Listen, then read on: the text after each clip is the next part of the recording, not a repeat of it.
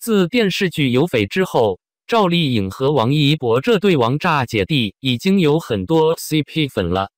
近日，大家对《野蛮生长》这部剧的关注度越来越高，因为继《有匪》后，赵丽颖和王一博有望在这部剧中迎来第二次合作。赵丽颖是王一博很器重的前辈，跟着赵丽颖搭配表演，能学到发展到什么程度，那是他们的私事，旁人也不便过问。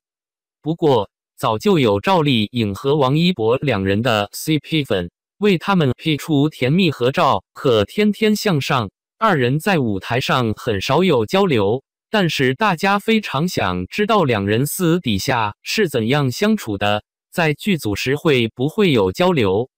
王一博他本来就是慢热的性格，他表示刚开始不熟不会和赵丽颖有交流，后来熟了也会交流剧本。